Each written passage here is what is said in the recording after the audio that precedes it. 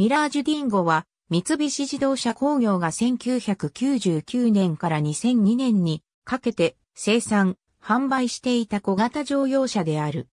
また同型車を中華人民共和国国立交渉ハルビン市を拠点とする自動車メーカーである。公引車が2001年から2014年頃にかけてライセンス生産を行っていた。コンパクトトールワゴンでメーカーはスマートユーティリティワゴンを自称する。またディンゴをベースにしたミニバン、ディオンも発売された。取扱販売店はカープラザ店。このディンゴは同社の軽トールワゴンであるトッポ BJ とほぼ同期に開発されていた。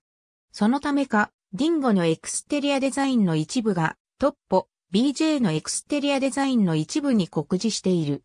ミラージュの名を冠しているが、5代目ミラージュがベースではなく新開発のプラットフォームが採用されている。そのため当時のミラージュ、ランサーに搭載されなかったシートベルトプリテンショナーフォースリミッターが標準装備となった。